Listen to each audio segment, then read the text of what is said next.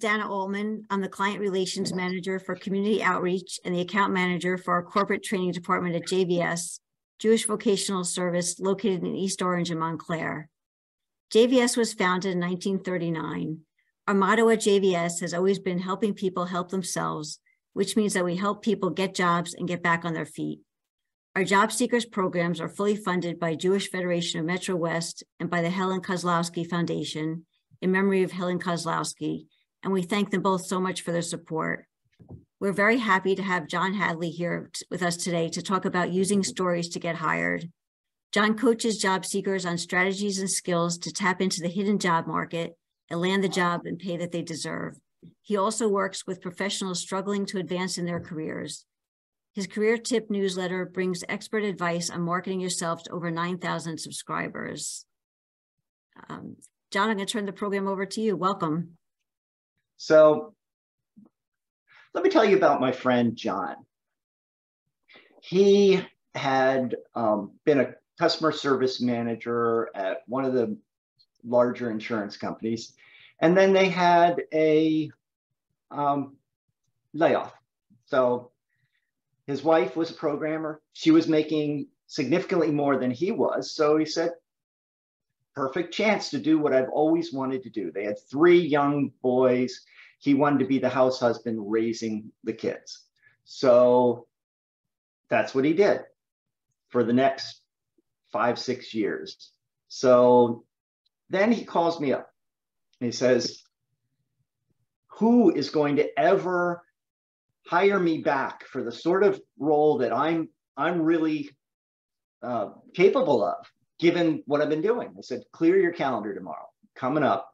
Sat down, worked through his, his resume, his talking points, but most importantly, we worked on his story, his authentic story for what it was that he had done to take charge of his life and do what he always wanted to do and and what he'd been doing in those years and now what he was ready to do going forward and he thought about it for a minute. Said, "Yeah, well, yeah, what you've just said that that really does feel like me."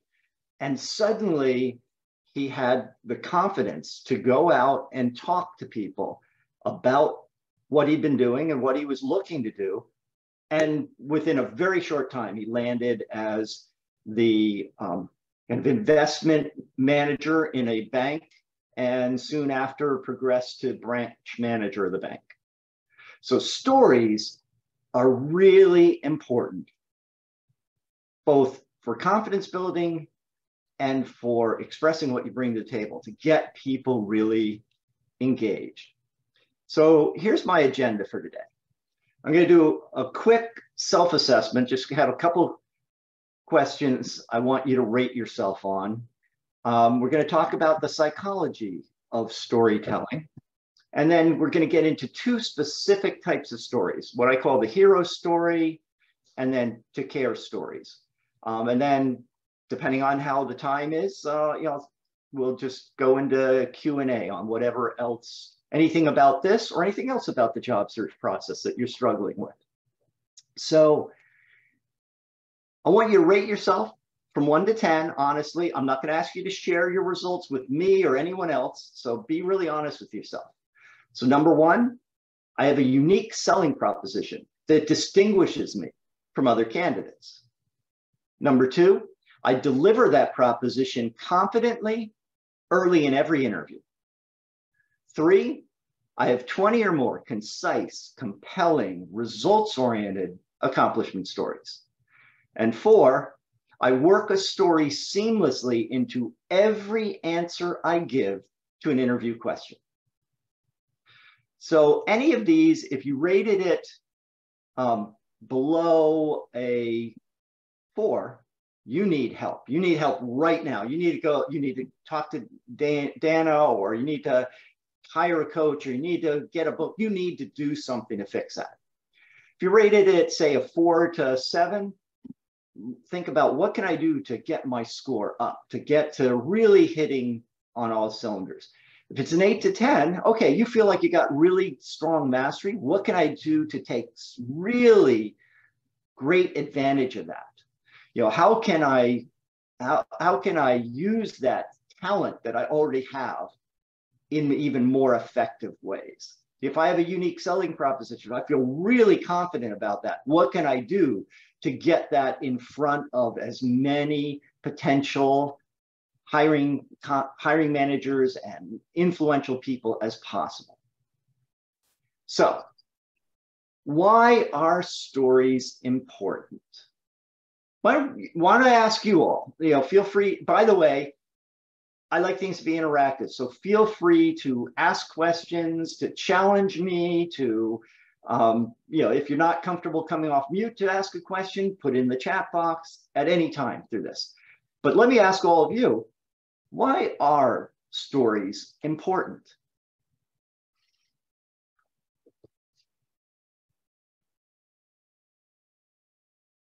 crickets.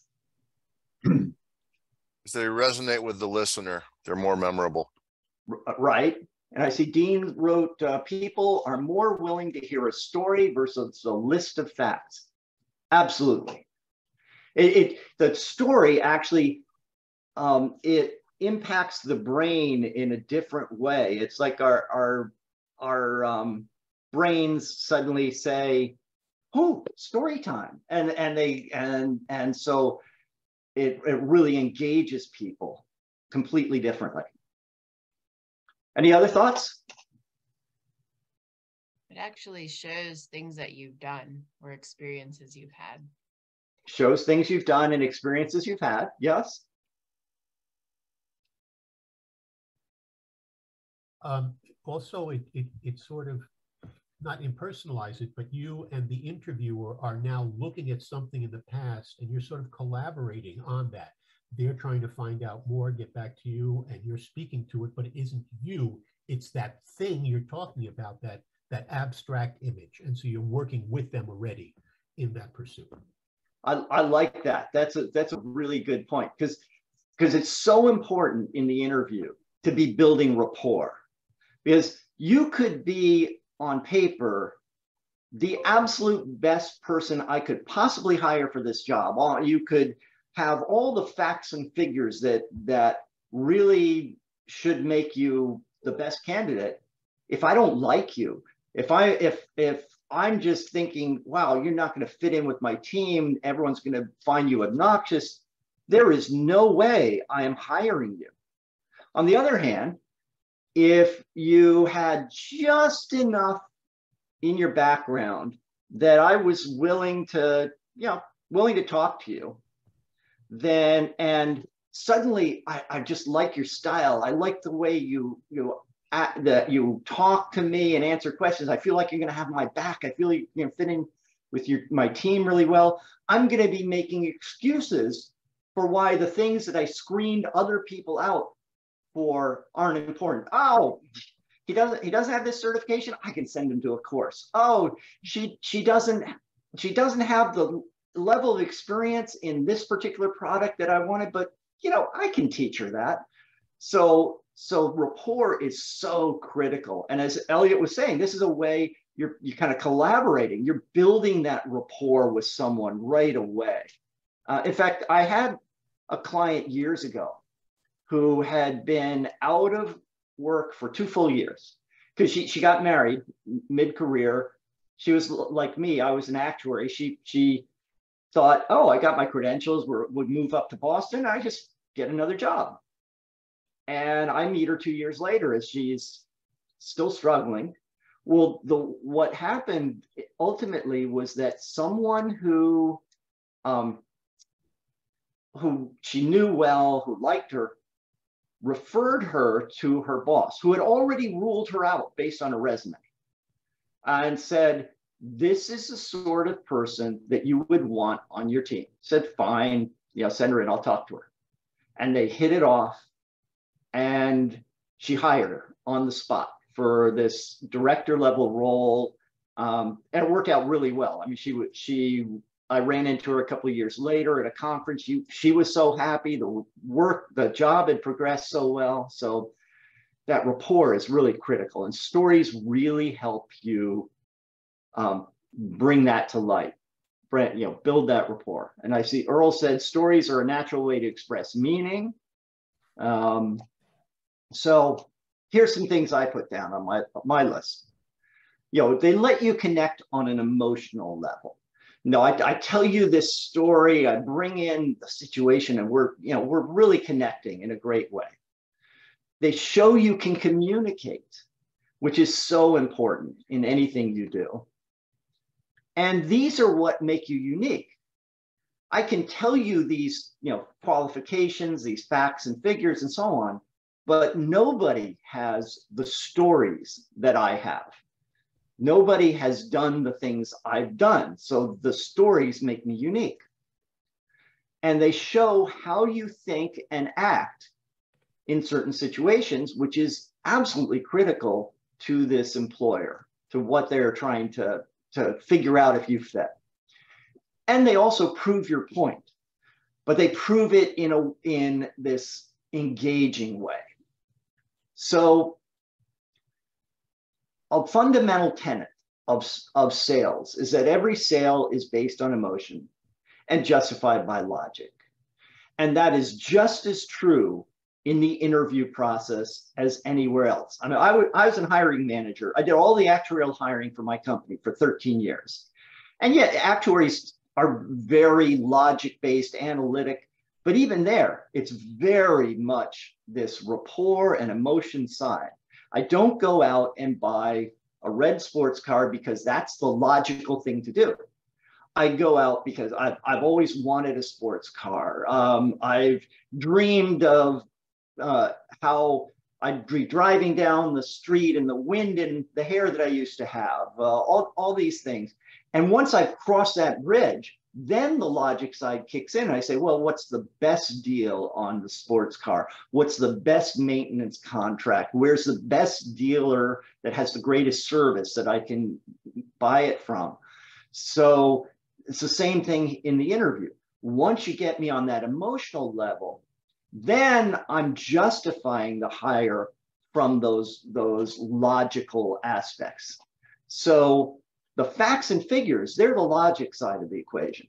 The stories are the emotion side. And so the, the home run is when you have really good stories that are backed up by results that sell you. Anyone have any questions so far? Feel free to you know, jump in, ask questions at any time. And I'll rely on Dana and Lisa to uh, if the, if there's something put in the chat box. Brian, yes, go ahead. Yeah, one just one real quick clarification, John. I think I think I'm understanding this now. I had initially come to this presentation thinking you were going to talk about store and they're the star or the whatever format situation action result form. Sounds like what you're talking about that's a subset, but you're well beyond and above and outside of that that these are much broader story opportunities. Is that roughly right? Well, we're starting from why you should even tell stories. We will get into a format, um, you know, every, and there are lots of, there's stars, there's pars, there's cars. I have my own variation on it, and I'll, then I'll tell you why when we get there. But uh, we will get into those um, success stories um, as as we go along. But yeah, this is really why are they all important? And we're and there's all another type of story we're going to get into too that's really important. Super. Thank you john. You're welcome. So fundamentally what what you want the if you leave this with one point it would be this. Always leave them wanting to know more. So everything you do in your search you should keep that front and center. You know, in your stories, you're trying to get them excited, get them engaged, wanting to know more about you, wanting to hire you. In your resume, you're trying, it's not, you're not trying to do every detail of your background. You're trying to give them the things that engage them, that make them say, yes, I need to bring Brian in here. You're in your, when you're at a networking event and someone asks you, what do you do? You want a simple one liner that just focuses on a benefit that you bring that gets them wanting to ask more. Now, Allison asked, in what part of the interview do you tell your story? Well, there are two stories that we're going to get into. One is one you'll tell very early in the in the interview. The other, what Brian was talking about, the stars or pars or cars, or in my case, to care stories, those you're actually going to tell throughout the interview. I'm going to advise you that there should be no question it, that you are ever asked in an interview that you do not give a story for. Even if it's just like one or two sentences of a story, because that's what will keep engaging people and leave them wanting to know more. You know, the more detail, the more how you did it you get into in your story, the less powerful it is. So you really want to focus on what are the elements that are going to leave someone wanting to know more. So, and then of course, you have to be prepared to deliver. You don't want to get stuck like this Apteryx that they want to know more and you've never prepared for what you're going to say next.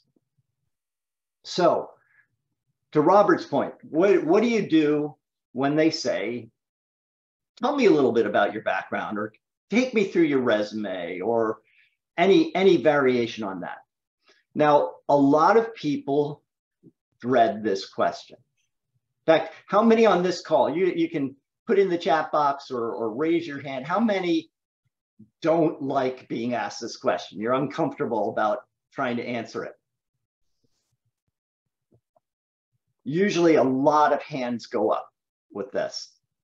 Um, but in fact, this question is one of the best opportunities you have. Because what you get to do when someone asks you this question, they're inviting you to draw the picture that you want them to see. So you're getting a chance to set the stage for how they're going to look at you. What's the package you bring at the bring to the table? Why should they be excited about you? And so this is a this is just the best opportunity if you have prepared for it. And, and John, I'm just going to interject for one second. For anyone that's on a phone and can't see the question, John's question is, tell me a little bit about your background. Yes. So let but, me. But yeah, that right, and that's but it's also asked differently. Like, can you go through what you what you were doing Yep. That, what's your what's your uh what were your what were you doing in your last job and the job before that? Like they don't necessarily ask it like that, but yeah, and well, that's one of the things about the interview, which is one of the reasons you want to do a lot of role play. That people, every interviewer is different. Everyone asks different questions. They ask the same question that you've been prepared for, but they ask it a different way or a different time that you haven't thought about and you get thrown off. So, um, yeah, if someone tells me, if they just say, tell me about your last job, okay, I'm going to have a story prepared that illustrates what I did in that last job. I'm not going to say, okay, my last job, I was the head of the actuarial department for commercial life and I did all the reserves and I did the pricing. I mean, that's boring. I'm going to tell them a story that illustrates what I did in that job what sort of results I produced, and then say, yeah, would you like to would you like me to expand on that? Or would you like me to tell you more? Or would you like me to tell you about my management skills? So I can I can get them drawing it out. But I am looking for the opportunity to tell my whole story too. So if if that, you know, if they ask me, for instance, if the first question is, so, or, or very early, why should I hire you? instead of answering that, just answering that flatly, I'm going to say, well, to, to answer that, I need to tell you a little bit about my background. And now I can tell my what I call my hero story, and I can finish it with a direct answer to that question. So, and that's why you should hire me because I am going to bring X, Y, and Z to your operation.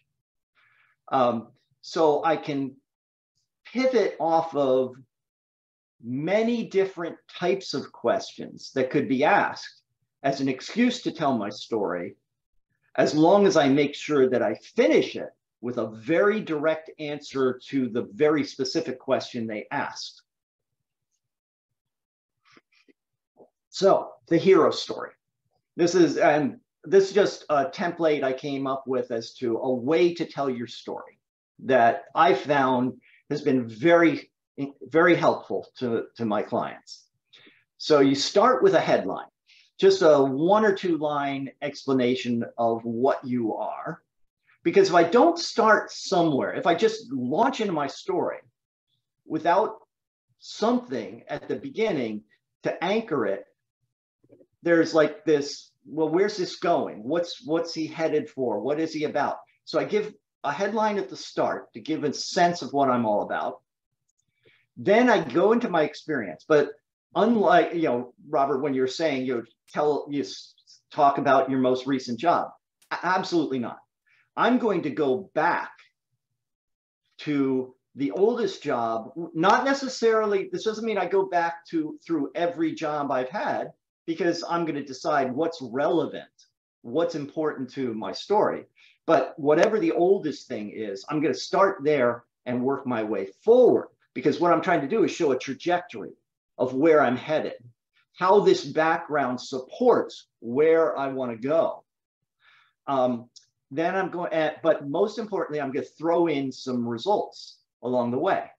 Because if I say, well, I was I was the product disability product manager at Equitable, and then I was the department head at you know at Commercial Life, and and then I was the chief actuary. It's like it's boring. It's just telling, and it's not giving a sense of what I contributed. It's just giving a bunch of titles. So I throw in some key results that both make it more interesting and show that I produce results. Then I'm going to get into just a really short bit about what are the rest of the qualifications when I put it all together, and I finish with my objective. So the objective, if, if it's a job interview, the objective is probably going to be this job or this job category and this company. Um, if it's the if it's like a networking meeting, you know, one one-on-one networking meeting with someone I don't know, where I'm going to tell my story so they get a sense of who I am, then my objective is going to be what's the the dream opportunity I am looking for? What where where do I really want to be heading? And by the way, you know, I put at the bottom, uh, you'll see that on a couple of slides. If you go to my website and you just put in that term in the search bar, it'll bring up um, a whole article on the hero story. So let me give you an example.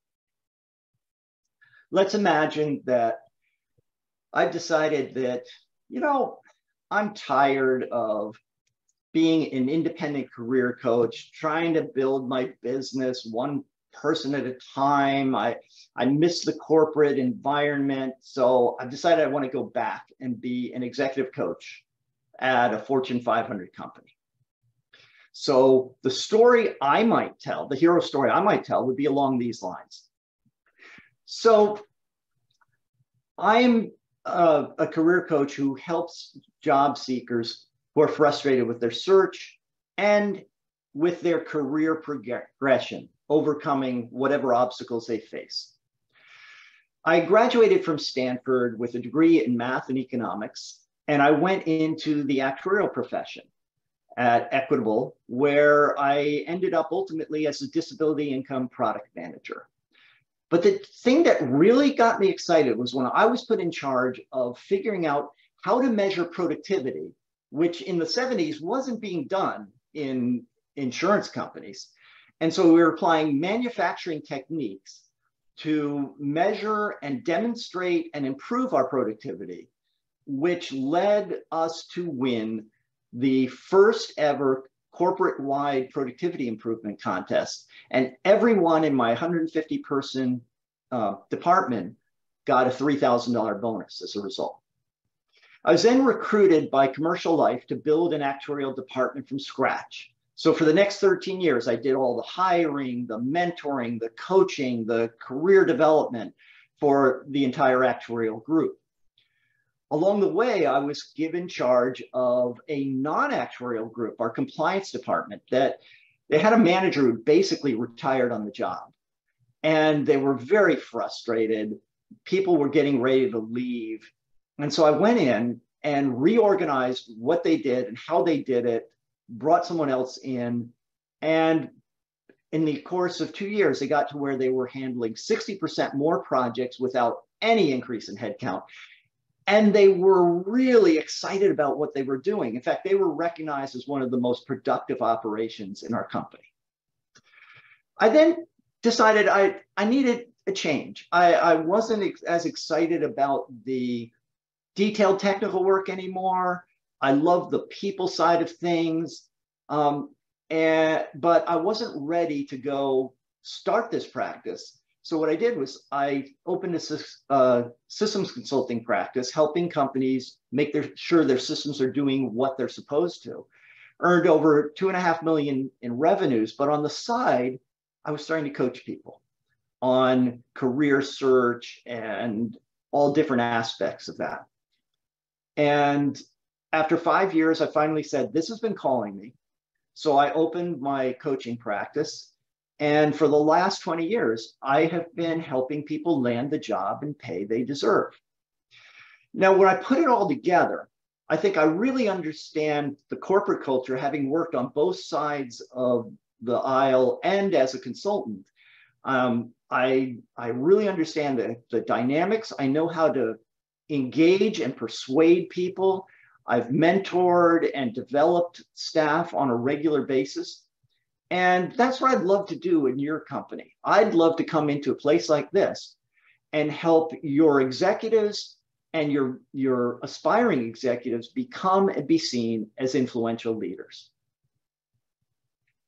So, what stood out for you in that story? Did it engage you? Was it was it interesting?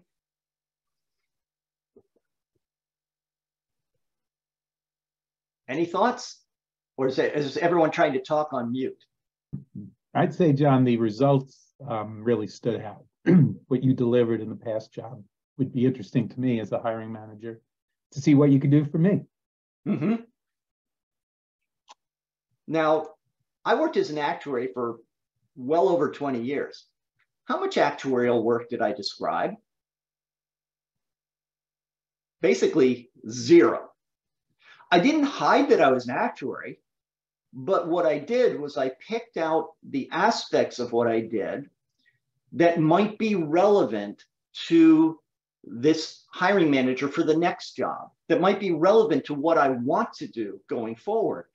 I'm not going to get into the financial stuff I did, the reserving, the analytics. Um, unless someone wants to know more, okay, I can I can talk about that. But I'm so what I'm doing is I'm pulling out the things that are relevant to my story. And I try tried to present, I guess Ken agreed with me, a few clear results. Because if you don't have results, if you don't tell, if your stories don't have results, I'm wondering how important what you did was. So this both shows results that make it interesting and relevant, but also shows that I understand the value of my work. And as, as, I was saying, I made sure the results were related to what I want to do next. They weren't about actuarial things that I'd done, although I had lots of stories I could bring out about those if I needed to. They were about, you know, productivity improvement and mentoring and, and engaging and, and um, corporate development sort of things. So what I'd like to do is get someone to volunteer to tell us their story so we can give you some feedback on how to make it even more engaging. And even if you, you don't feel like you have a good story, at least you can bring out some bullet points and we can help you with how to how to shape it. And I and I know you're all sitting there saying, oh, don't call on me, don't call on me. But this is where you get the most value in any of these workshops. Uh, I've many times had a client who said, you know, I don't, I don't know that I need to do any role play because I'm pretty good at that. I said, that's fine. You know, let's tell me, what would you say if I asked to you to tell me about your background? And then they start stumbling and they're like, oh, wow, you're right. I need help. So this is where you really get the most out of any of this. So who, what brave soul is willing to raise their hand and share their story? Oh, Brian, right away. Yeah, well, I hate that I'm doing this. And I'm you- really, you- I'm you really beat- good at this. This is out of my comfort zone. And you beat you beat Elliot out by just a fraction there. Public speaking is one of the 10 worst things that can happen in your life. It's right up there with divorce, apparently. So here I go. I'm Okay, married. great. Uh, so what do you want? The 15 second version or how long, John? Well, I if you can tell your whole story in 15 seconds, more power to you. Um, you, Not a you just have to talk really fast. But uh, I my guideline for the hero story uh, is that you for regular stories you never want to go longer than a minute. But for your hero story, you got a little bit more material you need to work in. So my guideline is you can go up to about two minutes. If you go more, much more than that, the, uh, the other person is starting to check out, or you've tried to cover too much ground and they're not going to remember it. Um, so anything up to two minutes. So I'm a financial analyst and finance manager. I help small companies run their finances. Call it CFO, call it accounting lead, whatever you want to call it. Uh, I started out out of college uh, working for KPMG, understanding how businesses worked. Went into banking for a while to understand better how companies raised money and what they needed to do for that. Uh, I was able to complete IPOs for a couple of dot coms back in the era when everybody wasn't losing money on them. And I've spent the past couple of decades working for small companies, helping them grow. Uh, particularly, I'm finding more need and opportunity and excitement in technology and clean tech renewable energy sectors. And that's what I'm looking for right now. That's the shortest I've done that. And I'm sure there was very little content, but I wasn't thinking because I was terrified. So please go ahead. Oh, that's that's fine. No, we we should we should give you a hand for volunteering. I get the participation ribbon. it, Thank you. I appreciate that. It's about all I earn. okay, so before I step in, what you know, who who has thoughts for what Brian could do to make that more engaging? Or did anything stand out for you in that story? Come on. Come on. So everybody thought it was great. Okay, Absolutely. I'll coach all of you then. Not. Are you asking me to wake up after that, Brian? oh, Dean and I know each other fairly well, so he probably took a nap the minute I went off mute. tou- tough audience. Jen, I would ahead. say you didn't sound confident because you said us and um type of things. Thank you, Cheryl. Makes sense. W- One suggestion is for word choice, use private companies instead of small, because you said small a few times and it diminishes value. I think with those two things, one, you mentioned IPOs, what kind of size and Yeah. what, in terms of how you went the back, one or two little thematic blurbs is to IPOs of X resulting in Y. Um, with Mhm. small, when small business isn't a bad thing in terms of startups, whether you've grown them or have sold them or whatnot. It's giving an example of one or two to demonstrate some of the work that can add more context to the story. Yeah, I, would- I would agree. But the metrics and the context really help. So yeah, if you'd said, if you'd given an ex, like even just the size range of the IPOs, that would have made that pop more. And you did say something about helping them grow in the last couple of decades. So if you threw, that would have been a perfect place to say, for example, and you give a really concrete example of taking a company from X to Y. If you're whatever story you tell, if you Good tell know, it John. Thank you. confidently, if you're smiling, if you're looking at us, you're it'll be way more effective. In fact, I, I was doing a workshop on marketing messages one time, and I was I was giving them the bad example and the good example. And in the bad example, I you know I was like smiling and and I and da da da da. And someone in the back said, I'd buy. And I'm like, oh wow, that's that's that just showed me how much more, how much power there is to the way you present. If you present confidently and smiling, even a lousy message or a lousy story can still be effective because I've left with this impression of you. But if you tell a great story and you're smiling and you're confident, just think how how how much more effective that will be. John, quick note. Um, one of the folks mentioned ums and ahs, and another person mentioned not enough detail on some of the things, even though I was trying to be quick because I rarely am. It occurs to me, matters, doesn't it? So you if something blipped as you said, something matters. It yeah, practice. Oh yes, practice. Yes, it, it does. And I, and one thing I would I would also practice is your opening, because I I think your opening you because we called on you. It's you know you're not prepared, so it's natural. But that was that was one that was a little weaker. You know, because um, you were kind of fumbling with what's what am I going to open this with. Um, so you might go back to the recording and see what you said. Uh, the the one thing I remember is you said something about run their finances. Now, if you said if you made that more results oriented about help their finances go from here to there, now that would that would sharpen them up sharpen that up a lot. Um, the first impression would be not something operational, but something beneficial, what I'm going to do for the person I'm interviewing with. Thank yeah. You. you could have the operational part in it as long as you bring the beneficial, the benefit or the challenge you're going to solve into it. Because that's what makes the that headline or, or opening really pop when I hear um, a result you might produce.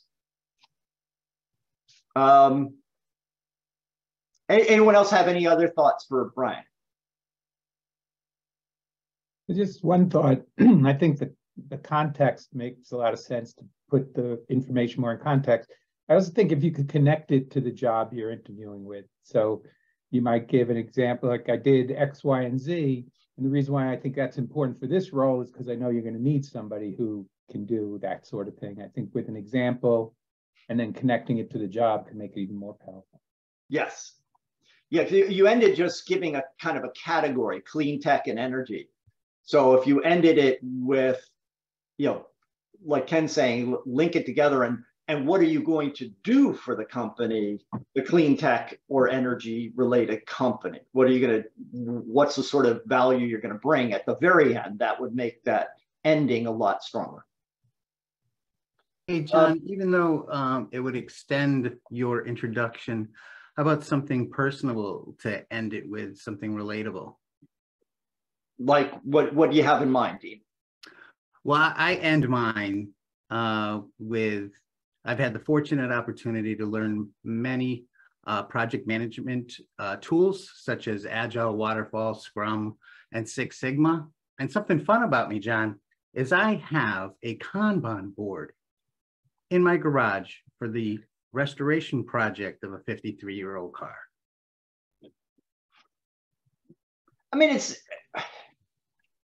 I'm not sure because it, it's it's it's interesting, but it kind of takes me off track.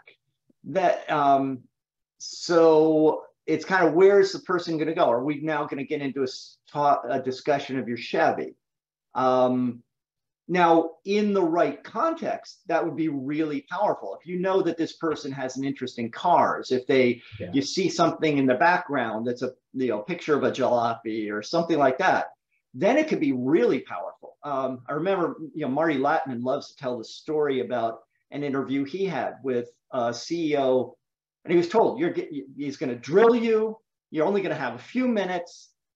And a- after like this third question that the guy was drilling him with, Marty said, "I'll answer that in a second. Can I just, I just have to ask, is that a a, a real I forget what it was. Joe Namath helmet. What it's something to do with you know football. And the guy said yeah it is. And they spent the next 40 minutes talking about football and got hired.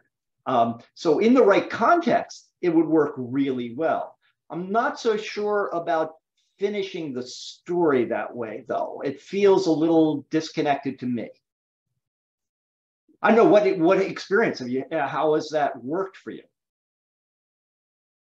Uh, my last interview, which was last Monday, ran for an hour and 45 minutes because we started talking about cars. Good. Hey, hit the right, definitely hit the right person with that. Okay, so what if it never comes up? And I, I kind of referred to this before that almost any question you can you can use as an excuse to tell your background.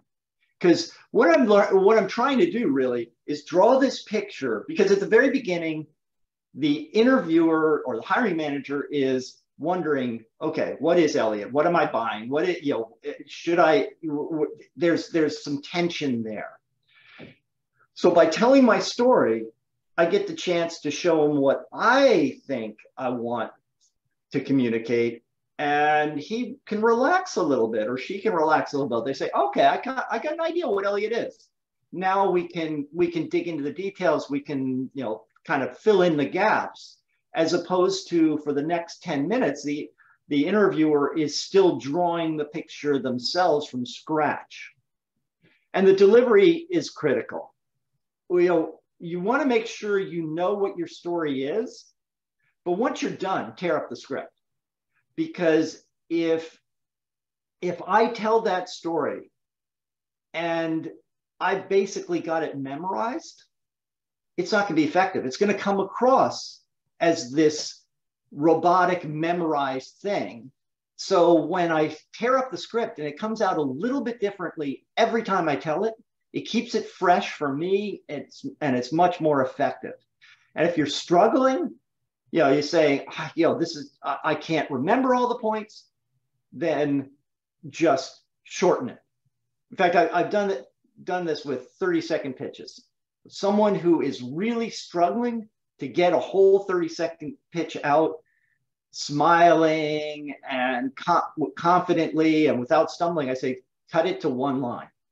Just give one line that you can deliver confidently and smiling and sit down and you will stand out. And when you get really good at that, add a second line. So take the same approach here. Right, you know, start out with the whole story you might want to tell, but if you're struggling with it, go for the shortest version you can and then start expanding on it as you get more effective at it. So let's move into accomplishment stories. It's um, so this is like stars, cars, pars, whatever you want to call them. Um, these are your talking points for both interviews and networking. Now, don't forget in networking, it's basically mini interviews. Eh, you're trying to get people engaged to help you in your search. So you're going to tell them simple accomplishment stories too. These are how you equip contacts to engage others on your behalf. These are the source of the powerful bullet points in your resumes. In fact, you know, the, you, you can start with the stories and then boil them down to bullets, or you can start with start with simple statements and then expand them and then make them more powerful. But these are the sources of all those points. So what are the critical elements of any accomplishment story? Um, now, you know, we've all, you've probably all heard stars, pars, cars, whatever, that's, that's fine. It boils down to these three elements, challenges, actions, and results. The results could be for the employer. If it's a consultant, it's results for your client. It might be results for your prospects. It might be results for your internal customers. Um, and if you put in that search term on my uh, website, it'll bring up a number of articles around challenges and the importance of, of weaving them in. Part of the reason I came up with my own to care template, and the two just stands for title overall, because you want a simple title that helps you remember your stories. Ah, this is this is my this is my negotiation story. This is my um, public speaking story, whatever it might be. So it so you can categorize them and, and recall them easily. But what I've seen, you know, the, there's nothing wrong with the the stars and pars and cars um, templates. It's just that what I've seen in the way people tend to put them together is the part that they emphasize the least is the challenges. They tend to talk about the situation without getting deeply into the challenges of, of the story. And between in these three elements, obviously results is the most critical. The second most critical is the challenges. And the challenges are what help the results to pop. The least important part of the story is the actions.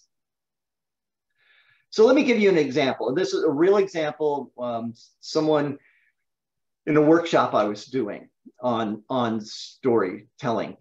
This is the story she told. Excuse me. I assumed the operation of a 12 year old actuarial recruiting business. I had no training and faced a number of technical hurdles. The presentations had to be made via finicky fax machine. There was no online candidate database. Anytime a job order came in, I had to pour over a thousand hard copy resumes to find potential candidates. So I set out to create and populate a database with 12 years of candidates, updating their status through internet research, and within a year, I had converted it to an MS Office application and designed an integrated website that allowed candidates to search and apply for jobs and employers to submit job orders online. The result was that we got the time to source candidates down from hours to minutes. Everything is set up with the data on very easy to use multi-purpose Excel files. The website globalizes our business and provides a really professional image. And I set it up for a seamless transition if I should leave or add to staff. So what do you think? Did, did this grab you? What, what do you think about that story? I may have missed the challenge. To challenge. me, it sounds like it's a, uh, she's a doer. Mm-hmm. Very much so. She, she jumped right in and, and revised things and set up the set up things in a, a, better way, made it more efficient. One of one of the things I love about that story, by the way, is uh, let me go back. The ending, that last statement. What do you think about? What do you think about that last statement? That that I set it up for a seamless transition. If I should leave or add to staff.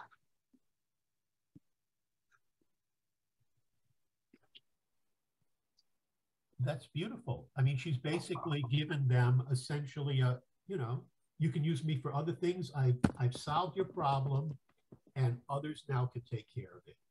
What's Absolutely. What's next? Who would you want to hire more than someone who's capable of doing that? Um, and who has the confidence to do it? Because a lot of people are afraid to set things up so that they can be replaced because they're afraid they will be replaced. But in fact, um, the person who is of most value to me is the person who sets things up so that I can replace them. I can put them to in another role to do exactly the same thing for this other part of the operation.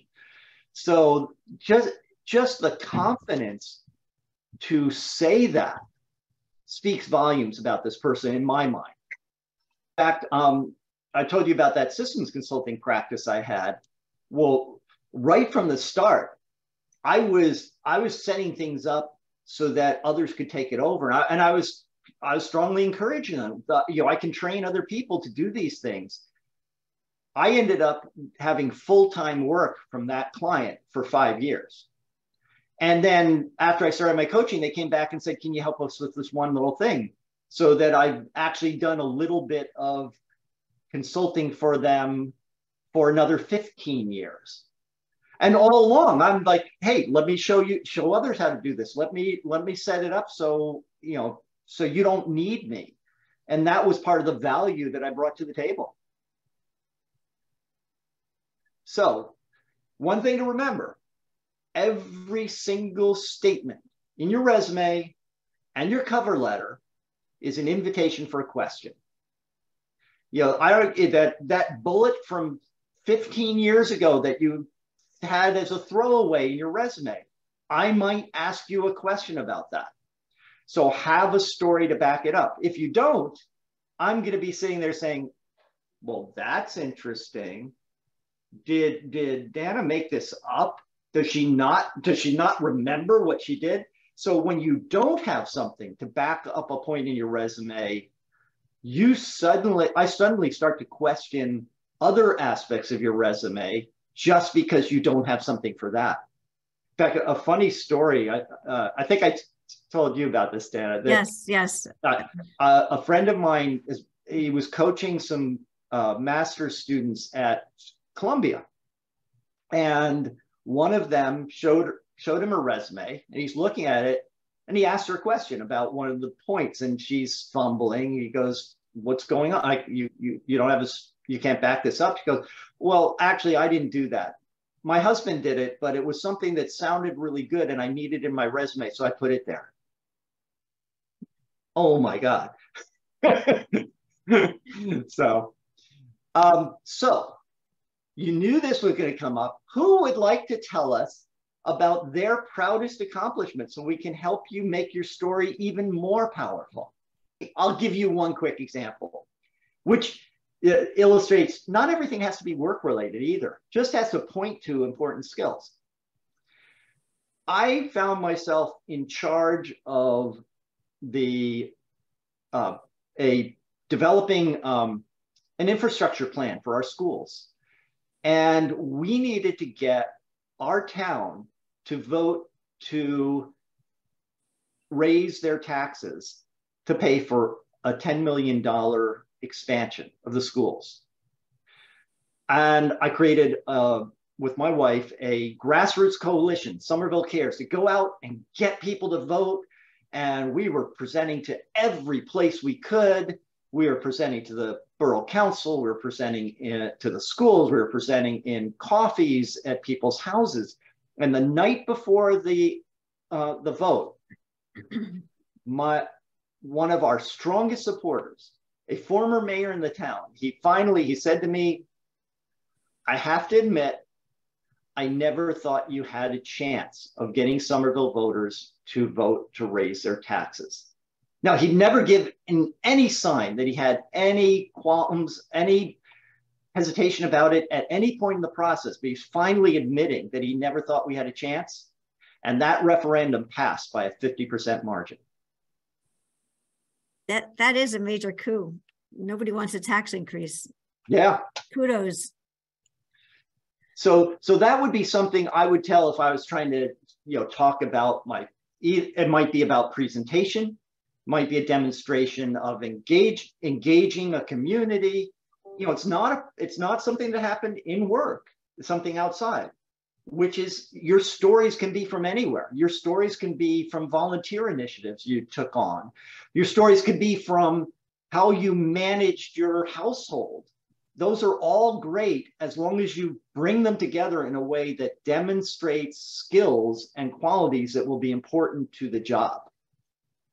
So who would like to try giving a, a story about one of their proudest accomplishments? Diane, you want to volunteer? Yeah, I have a story. Great. When I was at, uh, when I took a position in Citibank in Stamford, they quickly transferred us to uh, New York. And I, I, I was just finishing my undergraduate degree. And I, I said, I can't go. They said, we'll work it out. Don't worry. So I went into New York and another department picked me up, investor relations. It turned out to be one of my the very best jobs I ever had. I was there for almost 12 years. And when I walked into the department, a phone kept ringing, but no one was picking it up. And so um, I started picking it up, and it was the investor line. And I really couldn't answer their questions, but I, after 10 or 12 years, I built very strong relationships with all the high-end investors, and uh, it, they it was really wonderful. I mean, I I like doing it. I did more, of course. We released earnings in investor relations. You must all know that, but um, mm-hmm. and there, and we would have a chairman's dinner four times a year, which I was in charge of. But my biggest accomplishment there is that I took that over, and they let me. Nobody wanted to do answer that phone. and and all, all the people, all the all the um, Merrill Lynch's and Goldman Sachs, they knew that uh, I would get back to them. And their administrators uh, would call, and we would have, I uh, organized a luncheon for the administrators, and they thought that was the best thing in the world because they were coming to lunch at Citigroup. Mhm.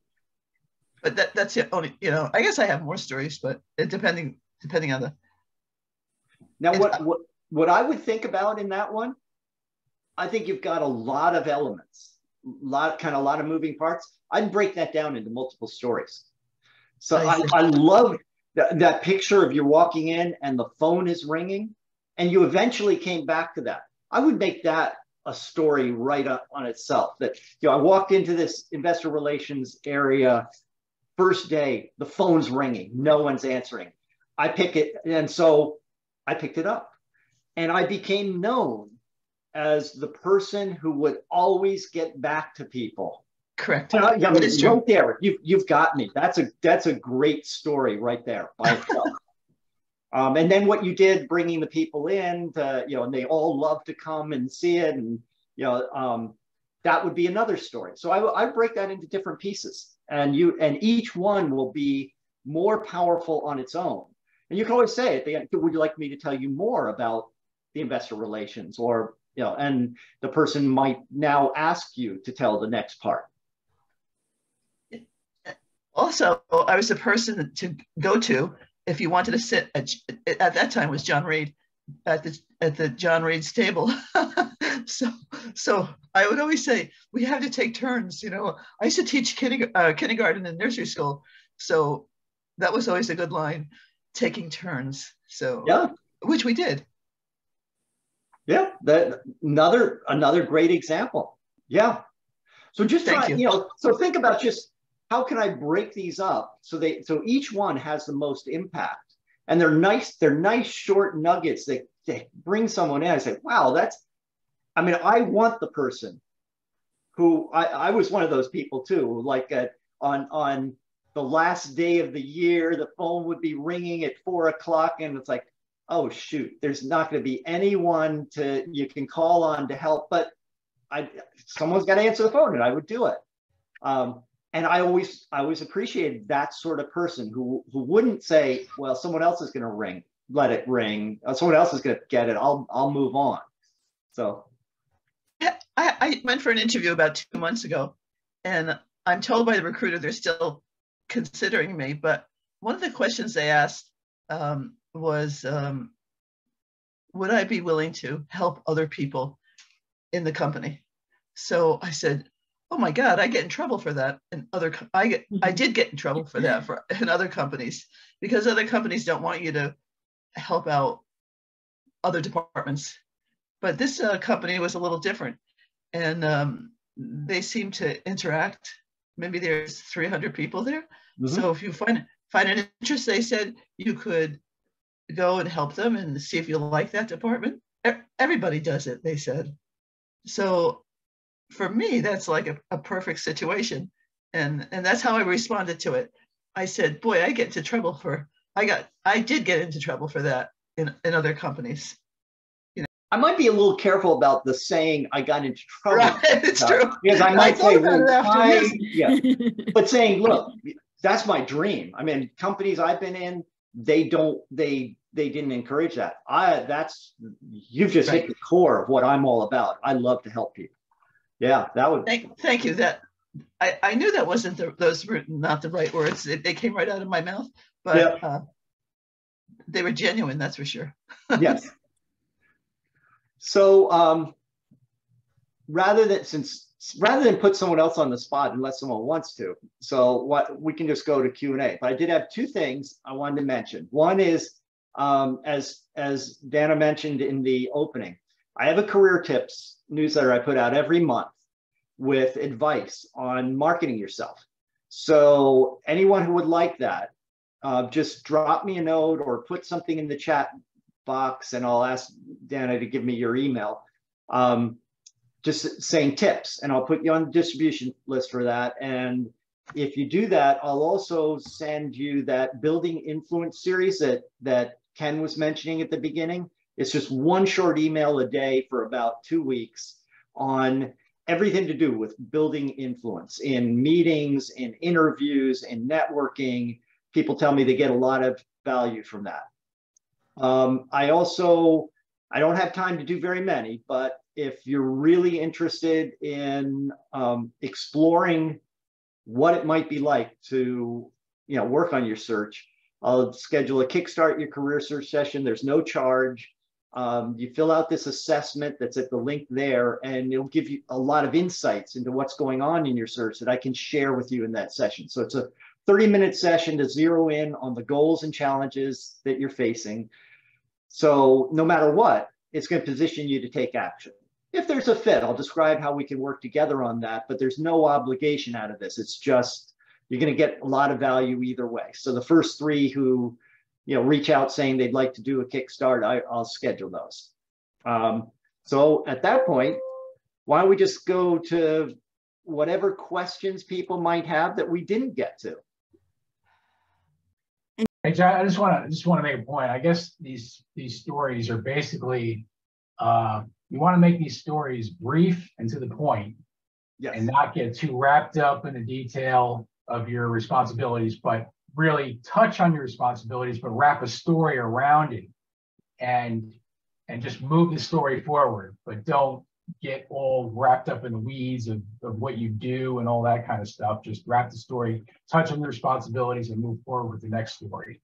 Is that yes. kind of absolutely because you can um you can get into the weeds when the person is excited and they say, okay, tell me how you did that part. Tell me about this aspect of the story.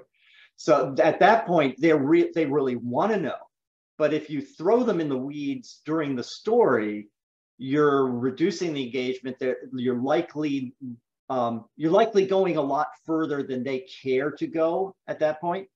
Yeah. Um, and the more you can make a story think about what's the one point I really want them to get from this story. Is this, is this about my presentation skills? Is this about my financial savvy? Is this about my leadership? Is this about my project management? And think, what can I tell that's specific to that? So you might have a story like that story I told about the um, the grassroots coalition of the vote depending on the conversation I'm having, I might only tell part of that story, or I might tell a diff- tell it a different way because this particular person is more interested in finance, or this person is interested in marketing, or the question they've asked is focused on this particular aspect. So the more you know, the more focused it is, you can always come back to that later on when they ask about another aspect. You say, well, you know, that story I told you, well, we also did this. Right. And try to keep them to no more than a minute. You want to keep them um, where it's absorbable and memorable. And I found that when you go more than a minute, you're usually filling it up with more of the weeds. You're filling it up with missile with extraneous stuff. So it kind of using that as a guideline forces you to keep them compact enough that they're that they're interesting. Hey John, I, I have a quick question, and, and that's uh, um, my my last role at J.P. Morgan Chase. I was a software engineer, and part of the work um, uh, it was kind of voluntary. We, we, we had taken place, we had taken part of hackathons where mm-hmm. we, where ideas were, yep. were, shared and we participated in committees. Um, one of the committees I got involved with was looking at exploring ideas of using credit card, a, a, a credit card disablement and what kind of concepts were. And we had a couple of discussions and everything. Um, two years, two years later, a patent was issued uh, from from the discussions. Mm-hmm. Um, it's not directly related to my work, um, but but there's aspects of saying creativity in terms of engineering or problem solving. H- how would you approach that um, to use that as an accomplishment? Well, there's nothing wrong with uh, saying that you know this this work that I that I did and the hackathon that we were putting together. It ultimately led to the company getting a patent. because it did. So, so you can you can include that as a result for your story. Uh, I've included stories before that, you know, okay, maybe what I did didn't necessarily, um, I can't point to something, this great result right here, but I know that the company took the technique that I use as a template for every future project. Okay, that's a result that the company used, my work became a, a template for the future. If sometimes with um, it's, hey, I left, I don't know the result. I don't, I don't know what happened. I, I wasn't there anymore. Well, then it can be, what was your, what, based on the project plan that you put together, based on where it was at that point, what would you have anticipated it? You know, based on the plan, here's what it should have done. Um, or sometimes you're in something and and they cancel it. Okay, you know, I don't know what happened. You know, it was on track to do this. Unfortunately, the company decided to, you know, to go in a different direction. But I still have the result of where it was going based on my work.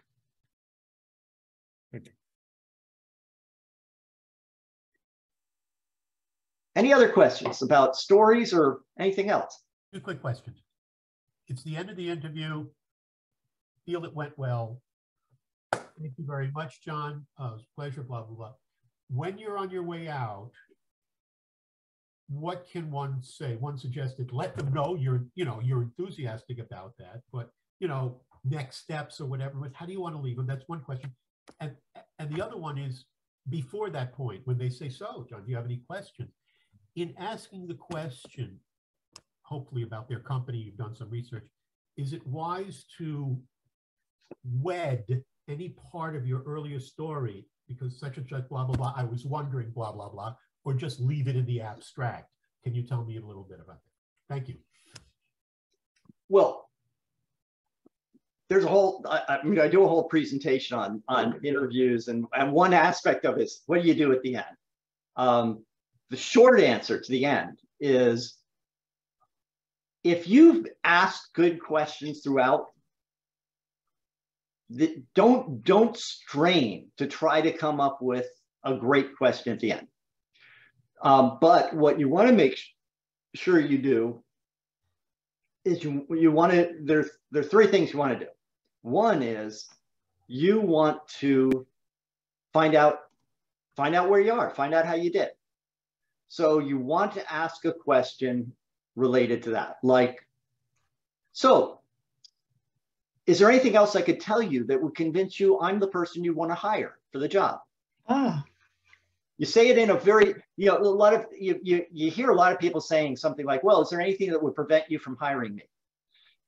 absolutely the wrong question to ask because that's inviting the person to dig deep and find a reason not to hire you. So you ask it in a very positive way. What else could I tell you? Um, and then you watch the reaction. And if there's any hesitancy or they share something that, you know, yeah, you could tell me about this, answer it right there as best you can. Try and try and walk away with them, you know, now saying, yeah, you are you are a very good candidate for this. Second thing is you want to find out what are the next steps? What's, what's the timeline? What are the next steps? Third thing is, well, and in that process, um, make sure you know that you basically ask for the job that you that you let them know you are very interested because i don't want to if i'm the hiring manager if elliot's come in to interview and it's absolutely clear he wants the job. And Dean's come in to interview, and I'm just not sure. And they're pretty comparable. I'm going to make the offer to Elliot every time because I know he's going to accept it. Now, it doesn't mean you're saying, I am going to accept this job no matter what. It just means saying, wow, this is, you know, based on everything you've told me, this is a really exciting opportunity because I think I can bring X, Y, and Z to the table. Is there anything else I can tell you that would convince you that I'm the person you should hire? So I so I've made sure that they know I'm very interested at the same time that I'm finding out how we did. And then the last thing is set yourself up for your own action step. They tell me well, we're going to make a decision. We anticipate looking at three more people in the next two weeks, and then we'll make a decision. I say, great. So I will plan to follow up with you two weeks from Monday if I haven't heard from you by then. So now I can go home, mark my calendar for two weeks from Monday. I'm not spending the next two weeks obsessing about what I haven't heard. When am I going to hear? Should I call them? What's going on? Because I've already set it up. And I've shown them that I am a professional who's organized, who's, you know, I've marked my calendar and and a lot of times you don't hear when they said they might tell you because it took longer to schedule people, whatever. So when I call two weeks from Monday and I say, Elliot, I'm just following up. I'm very interested in that project manager role we spoke about. Um, sorry I missed you. I will plan to call you again on Wednesday to see where we stand. Now, you're going to you're going to answer. You're going to you know, get your voicemail and say, "Oh, wow, yeah, he said he was going to call today. He did." So you've just demonstrated a quality that might make it more likely that I hire you because I say he he follows through on what he does. He's organized. He's following. He's professionally persistent. I, I want to be respectful of everybody's of time, especially yours, John. You said 11, that you're going to speak to 1130. So, so thank you so much. I mean, this was really wonderful. It was. Sure everybody learned it. Yeah. Please feel free to unmute yourself and really and show your appreciation to John. It was really wonderful. Yeah, John, this is great. Learned Thank a lot of much. It was things. Excellent. Thank you. I'm Thank you, John. Found it Thank you very helpful. much. Great talk. Good luck to everyone that has those interviews today and, and anytime soon. Very helpful.